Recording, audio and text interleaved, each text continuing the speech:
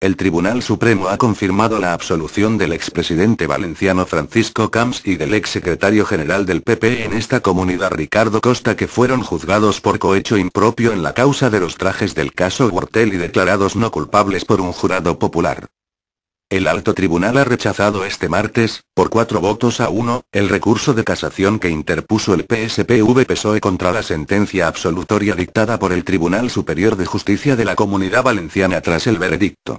Los socialistas valencianos, que ejercían la acusación popular, entendía que había una manifiesta contradicción entre los hechos declarados probados por el jurado y el fallo final. Sin embargo, el Supremo, que ha adelantado el fallo en una nota de prensa, concluye que la motivación efectuada por el jurado no ha sido arbitraria, ilógica o irrazonable, al individualizar las pruebas y elementos de convicción que le han llevado al veredicto de no culpabilidad. El alto tribunal señala además que, aunque el veredicto fue aprobado por tan solo un voto de diferencia, cinco miembros del jurado a favor de declarar no culpable a Camps y Costa frente a cuatro en contra concurrían las mayorías necesarias para declarar no probados los hechos que se juzgaban. La sentencia del Supremo, que se conocerá en los próximos días, cuenta con el voto particular de Joaquín Jiménez García quien sí considera que el juicio contra Camps y Costa debería ser repetido, según informa Servimedia. La motivación efectuada por el jurado no ha sido arbitraria, ilógica o irrazonable. El jurado popular declaró no culpables a Camps Costa, por cinco votos a cuatro, el 25 de enero de 2012, al considerar que no recibieron regalo alguno en consideración de su cargo de la trama Gortel y que no tenían influencia alguna en materia de contratación. Con la decisión del jurado se dio la paradoja que Camps y Costa fueron absueltos, mientras que el ex vicepresidente valenciano Víctor Campos y el ex jefe del gabinete de la Consellería de Turismo, Rafael Betoret, fueron condenados tras reconocer los hechos a pagar una multa de 9.600 euros.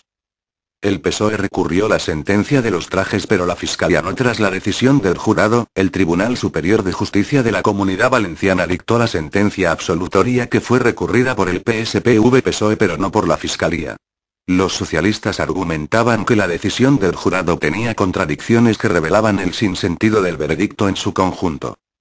El recurso de casación interpuesto por quebrantamiento de forma, vulneración de precepto constitucional e infracción de ley pedía la anulación de la sentencia del Tribunal Superior de Justicia de la Comunidad Valenciana y, consecuentemente, solicitaba la condena a los acusados. El recurso ha sido revisado este martes en deliberación a puerta cerrada por la sala integrada por los magistrados Carlos Granados, Joaquín Jiménez, Juan Ramón Verdugo, Manuel Marchena y Antonio del Moral suficiente mayoría para considerar un hecho no probado. El recurso del PSPV-PSOE señalaba que para que los hechos fueran declarados probados o no probados se requería una mayoría de siete votos, al menos cuando fuesen contrarios al acusado. El Supremo le ha respondido que las mayorías, de 5 a 4, fueron suficientes.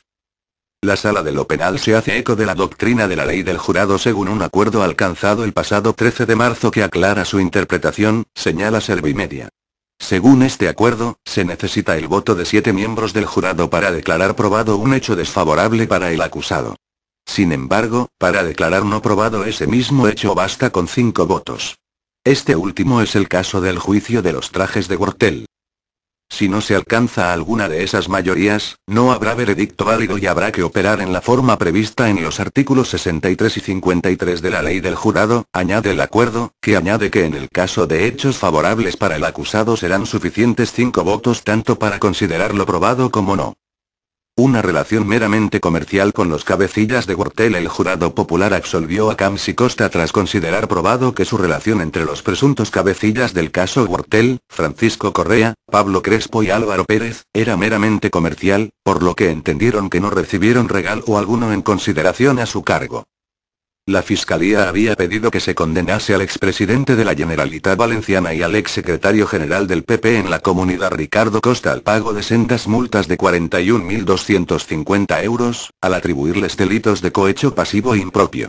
El Ministerio Público sostenía que Camps había recibido en consideración a su cargo 10 trajes, 4 americanas, 4 corbatas y 4 pares de zapatos, valorados en un total de 13.121 euros. Acusaba a sí mismo a costa de haber sido obsequiado con cinco trajes, dos americanas y nueve pantalones, valorados en 10.075 euros. El jurado popular, tras las 26 sesiones de juicio oral, consideró probado que ni Camps ni Costa tenían influencia en materia de contratación en relación con la trama de corrupción del caso Wortel.